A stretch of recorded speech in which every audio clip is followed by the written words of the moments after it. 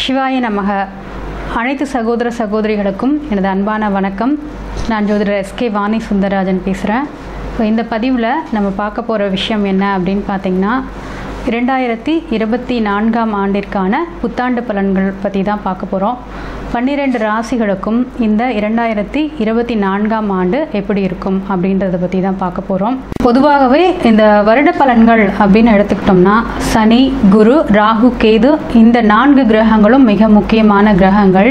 So இந்த கிரகங்களின் பயிற்சிகள் பெயர்ச்சிகள் அடிப்படையில் தான் நமக்கு அந்த வருடம் அப்படின்றது அமைஞ்சிருக்கும். என்னதான் நமக்கு வந்து கோச்சாரப்படி இந்த கிரகங்கள் பலன் கொடுத்தாலும் உங்களுடைய ஜனனகால ஜாதகப்படி எந்த திசா நடக்குது ஸோ நீங்கள் எந்த லக்னம் எந்த தசா நடக்குது.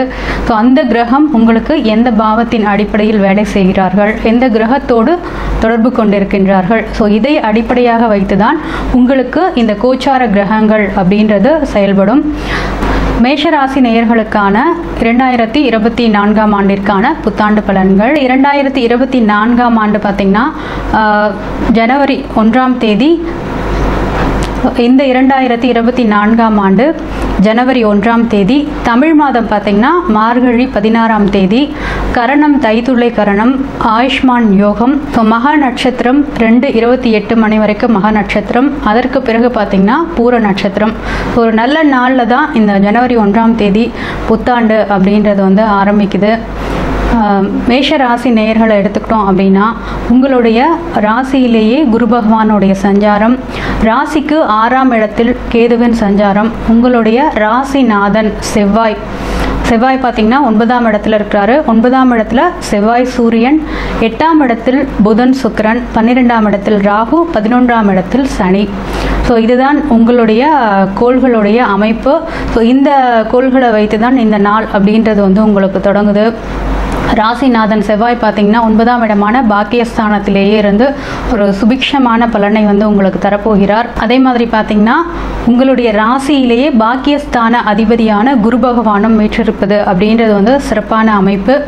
ஆறாம் இடத்துல பார்த்தீங்கன்னா கேது பகவான். இப்போ முக்கியமாக பார்த்தீங்கன்னா குரு சனி ராகு கேது இந்த அமைப்பை வந்து நம்ம பார்க்கணும்.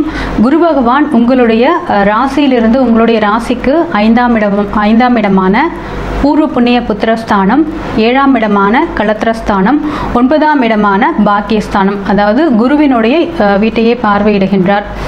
குருவை பொறுத்த வரைக்கும் மேஷராசி நேர்களுக்கு மிக சுப விஷயங்களை தருகின்ற ஒரு அமைப்பில் தான் இருக்கின்றார். ஸோ பதினோராம் இடத்தில் சனி பகவான் அதாவது சனி பகவான் வெற்றி லாபஸ்தான அதிபதி அந்த இடத்திலேயே இருக்கிறது அப்படின்றது மிக சிறப்பான அம்சம். அதே மாதிரி ராகு கேதுக்கள் ஆறு பன்னிரெண்டாம் இடங்களில் இருக்கிறாங்க. ஸோ இதுவுமே பார்த்தீங்கன்னா மேஷராசி நேர்களை பொறுத்த வரைக்கும் ஒரு தீமை இல்லாத அமைப்பு அப்படின்னு சொல்லலாம் இந்த வருட கிரகங்களால். உங்களுடைய ஜனனகால ஜாதகம் அப்படின்றது மிக வலுவான நிலையில் நன்மைகள் தரக்கூடிய அமைப்பில் இருக்கக்குள்ள மிக சிறப்பான பலன்கள் அப்படின்றது நடைபெறும். அதே மாதிரி பார்த்தீங்கன்னா ராசி அதிபதியும் ஒன்பதாம் இடத்துல சூரியனோட பஞ்சமாதிபதி சூரியனோட அந்த பாக்கியஸ்தானத்தில் வீற்றிருக்கிறது அப்படின்றது சிறப்பான அமைப்பு. புதனும் பார்த்தீங்கன்னா உங்களுடைய ராசிக்கு பாவி என்று சொல்லக்கூடிய அந்த புதன். புதன் பார்த்தீங்கன்னா மூன்று ஆறுக்குடையவர். எட்டாம் இடத்தில் அட்டமஸ்தானத்தில் மறைந்திருக்கிறது அப்படின்றது ஒரு விபரீத ராஜயோகத்தை ஏற்படுத்தக்கூடிய அமைப்பு. அதே மாதிரி சுக்கரன் பொறுத்த வரைக்கும் உங்களுடைய ராசிக்கு இரண்டு ஏழுக்குரிய சுக்கரன். அதாவது தன குடும்ப வாக்குஸ்தான அதிபதி மற்றும் களத்திரஸ்தான அதிபதியான அந்த சுக்கிரன் பார்த்தீங்கன்னா எட்டாம் இடத்தில் புதனோட சஞ்சாரம் செய்கிறார். ஸோ அந்த இடத்துல இருந்து சுக்கிரன் தன்னுடைய வீட்டையே பார்க்கறது அப்படின்றதும் மிக ஒரு யோகமான அமைப்பு. ஸோ மிக ஒரு யோகமான அமைப்பு தான் ஸோ சனியை பொறுத்த வரைக்கும் பார்த்தீங்கன்னா இந்த பதினோராம் இடத்துல இருந்து உங்களுடைய ராசியை பார்வையிடுகிறார். சனிக்கு வந்து மூன்று பார்வைகள் உண்டு. ஸோ மூன்று ஏழு பத்தாம் பார்வைகள். அப்போ மூன்றாம் இடத்துலேருந்து உங்களுடைய ராசியை பார்க்கறது. சனி பகவான் பதினோராம் இடத்துல இருந்து உங்களுடைய ராசியை பார்க்கறது.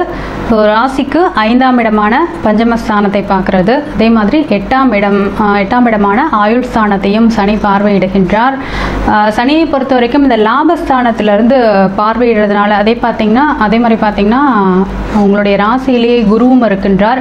இப்போ இந்த லாபஸ்தானத்திலிருந்து சனி பார்க்கறதுன்றது ஒரு சிறப்பான அமைப்பு. ஸோ நீண்ட நாட்களாக குழந்தை குழந்தை பேர் இல்லாதவர்களுக்கு குழந்தை பேர் கிடைக்கக்கூடிய ஒரு விஷயம் அப்படின்றது இருக்கிறது. ஏன்னா ஐந்தாம் இடத்தையும் இவர் பார்வையிடுகின்றார். முடிஞ்ச வரைக்கும் இந்த சமயங்களில் நீங்கள் குலதெய்வ கோவிலுக்கு போயிட்டு வர்றது அப்படின்றது சிறப்பான விஷயமாக இருக்கும். எட்டாம் இடத்தை இந்த சனி பதினோராம் இடத்திலிருந்து பத் பத்தாம் பார்வையால் பார்வையிடுறதுனால உங்களுக்கு திடீர் யோகங்கள் திடீர் அதிர்ஷ்டங்கள் கிடைக்கக்கூடிய வாய்ப்புகள் அப்படின்றதும் இருக்குது அதே மாதிரி ராசியும் பார்வையிடுறதுனால வெற்றிகள் உங்களுக்கு சேரக்கூடிய ஒரு யோகமான ஒரு வருடமாக இந்த வருடம் இருக்க போகின்றது.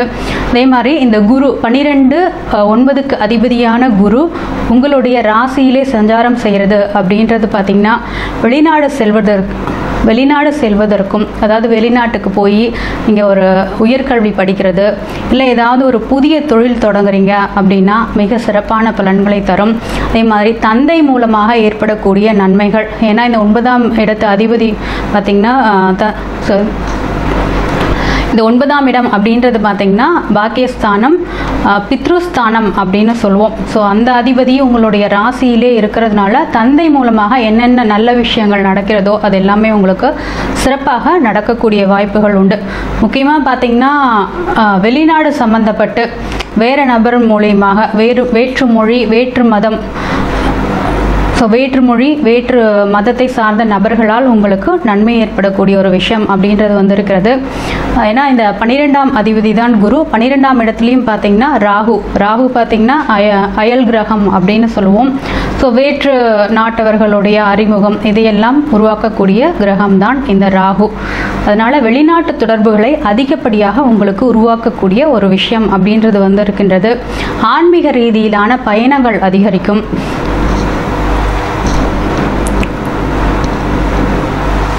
அதே மாதிரி இந்த ஐந்தாம் அதிபதியான சூரியனும் பார்த்தீங்கன்னா இந்த வருட தொடக்கத்திலேயே ஒன்பதாம் இடத்திலிருந்து தான் தொடங்குகிறார். ஸோ ஒரு ஒரு வருடமும் சூரியன் என்பவர் இந்த ஒன்பதாம் இடத்துல இருக்கக்குள்ள தான் இந்த வருடம் அப்படின்றது வந்து தொடங்கும். ஏன்னா மார்கழியில் சூரியன் பார்த்தீங்கன்னா தனுசு வீட்டில் குரு வீட்டில் தான் இருப்பார். ஸோ குழந்தைகள் மூலமாக ஒரு நல்ல பெயர் குழந்தைகளால் ஒரு நல்ல வளர்ச்சி நல்ல முன்னேற்றம் கிடைப்பதற்கான வாய்ப்புகள் அப்படின்றதும் இருக்கின்றது. சுக்கிரனும் பார்த்திங்கன்னா தனஸ்தானத்தை பார்க்கறதுனால பொருளாதார வளர்ச்சி அப்படின்றது சிறப்பாக இருக்கும். இந்த ஆறாம் அதிபதியான புதன் முக்கியமாக பார்த்திங்கன்னா உங்களுக்கு பாவின்னு சொல்லுவோம். இந்த மேஷராசி நேயர்களுக்கு மூன்று ஆறுக்குடைய இந்த புதன் எட்டாம் இடத்துல மறையிறதுன்றது மிக சிறப்பான நற்பலன்கள் கடன்கள் அடையக்கூடிய வாய்ப்புகள் உங்களுடைய எதிரிகளை வெல்லக்கூடிய ஒரு விஷயம் அப்படின்றது வந்து இருக்கிறது. இன்னொரு விஷயம் என்ன அப்படின்னு பார்த்தீங்கன்னா மேஷராசினியர்களுக்கு இந்த வருட தொடக்கமே பார்த்தீங்கன்னா ரொம்ப ஸ்பீடாக தான் ஆரம்பிக்கும். ஏன்னா ஒன்பதாம் இடம் அப்படின்ற ஒன்பதாம் இடத்துல சூரியன் செவ்வாய் இந்த இரண்டு கிரகங்களுடைய சேர்க்கை. ஆல்ரெடி பார்த்தீங்கன்னா மேஷராசினியர்கள் ரொம்ப ஸ்பீடாக தான் முடிவெடுப்பீங்க. ஸோ எதையுமே அவசரப்பட்டு செய்யக்கூடியவர்கள் தான். பட் குரு வந்து உங்களுடைய ராசியிலிருந்து இந்த ஒன்பதாம் இடத்தை பார்க்கறதுனால ஸ்பீடாக இருந்தாலும் சில விஷயங்களை வந்து கரெக்டாக செய்யக்கூடிய வாய்ப்புகள் உண்டு. மேஷராசி நேயர்களுக்கு வாழ்த்துக்கள். ஸோ இந்த வருடம் உங்களுக்கு மிக சிறப்பான வருடமாக அமையும். வழிபாடுகள் அப்படின்னு பார்த்தீங்கன்னா மேஷராசி நேயர்கள் எப்பொழுதுமே உங்களுடைய ராசி அதிபதியான செவ்வாய் பலம் பெறுவதற்கு முருகருடைய வழிபாட்டை அவசியமாக செய்ய வேண்டும். முக்கியமாக பார்த்தீங்கன்னா கிருத்திகை நட்சத்திர நாட்களில் விரதம் இருக்கிறது. கந்த சஷ்டி வரப்போ அந்த நவம் நவம்பர் மாதம் விரதம் இருந்து முருகரை வழிபடுறது அப்படின்றது உங்களுக்கு மென்மேலும் ஒரு நல்ல முன் முன்னேற்றத்தை வழங்கும். அதே மாதிரி சிறப்பான பலன்களையும் வழங்கும்.